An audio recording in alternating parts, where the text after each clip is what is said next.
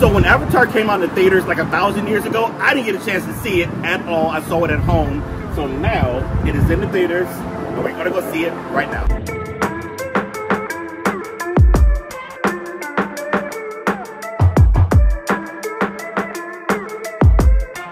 Get ready to start. Stop recording. They're gonna take my phone away. Stop. Give me, give me that.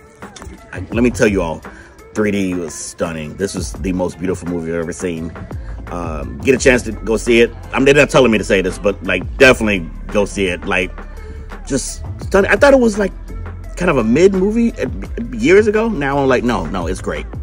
It's great. So that's it. And um, they're about to kick me out of here, so let me get out. Oh, I'm supposed to put the glasses back, but I'm not.